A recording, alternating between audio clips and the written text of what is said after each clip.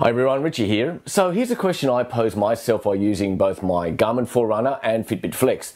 What would be the difference in reported performance for a few different activities? Well, I spent the day finding out and I'm here to give you the results.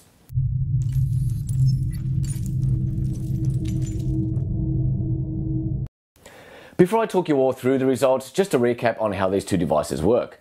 The Garmin Forerunner uses GPS to track your movement so it knows how far and how fast you've traveled. When you use this with a compatible heart rate monitor and after plugging in your vital stats, it can report back to you with reasonable accuracy the amount of calories you've burned during the period you've tracked. The Fitbit is pretty much based entirely on movement and also uses your vital stats such as age and weight to estimate how much energy you've expended. So I made like for like measurements.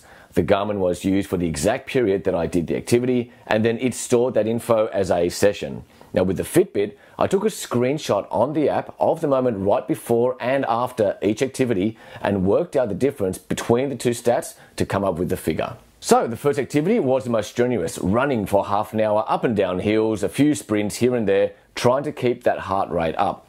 So after 30 minutes of intense exercise, the Garmin said I had run just over 6 kilometers and used up 350 calories on the way. So what did the Fitbit app tell me? Well, it estimated that I'd run just under 5 kilometers and was busy burning 433 calories. So it's understated the distance covered, but overstated the energy used. So how about the complete opposite? How much energy does it take to do absolutely nothing? Now, this was a fun experiment. Sit around for half an hour, trying not to move, keeping my heart rate at rest. So how many calories did the Garmin say I'd burned away this time? A puny 35 calories. So sitting around uses one tenth of what it takes to run for the same period. Uh, no wonder it's so easy to pile the kilos on. And the Fitbit was very close. It reported 37 calories used up. Now, uh, what's something you could do while sitting on your butt but it helps release more energy? Why? Air drumming, of course. So, I strapped on the heart rate monitor one more time, got my drumsticks and headphones, and pounded away for half an hour, really making an effort. So, what was the reward this time? A full 104 calories used up. Now, that was according to the Garmin combined with the heart rate monitor. Now, what did the uh, good old Fitbit Flex report back? Well, it came back with more than double. 276 calories. Now, to be fair, the Fitbit is looking at movement, and me raising and lowering my arm to hit those imaginary skins really does, you know, to the Fitbit look like real movement. In fact, it thought I'd actually run the equivalent of three kilometers.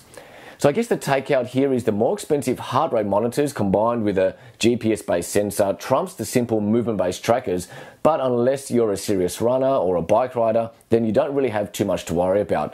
It's the sleep patterns and general steps and movement taken during the day are the things that Fitbit tracks really well. Uh, but what this segment probably shows is that if you are a more serious active person, it's still worth having the specialized equipment right now. Um, I, I, from my point of view, nothing beats a heart rate monitor and GPS for real calorie output. So there you have it, a fun experiment that once again got me off the couch and very active in the real world. What are your thoughts? Uh, do you use a Fitbit or a training watch to track yourself? And if not, will these results sway you towards either product type?